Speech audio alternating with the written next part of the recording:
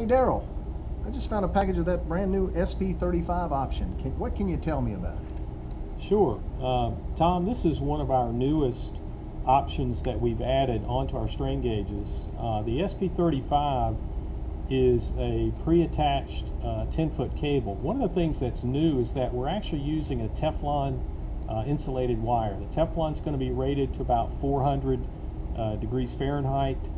Uh, we're using a higher temperature solder, so uh, traditionally these gauges, these pre-attached gauges that had vinyl would be rated to about 180 Fahrenheit, now we're just about doubling uh, that temperature range.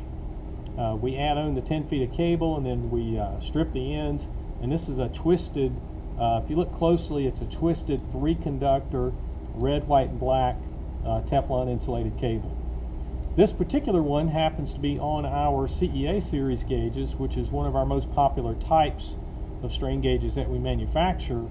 Uh, but we can also put the SP35 on the WK series uh, gauges.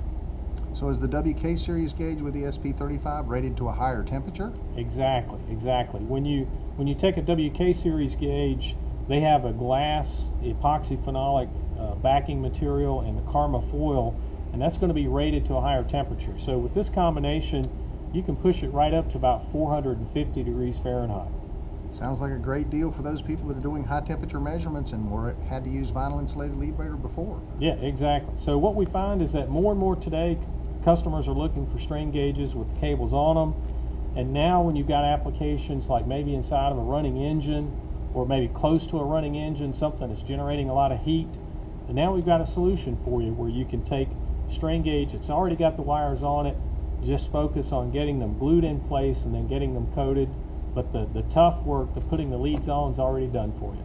Sounds like a great addition to our line. Thanks for telling me all about it. Sure.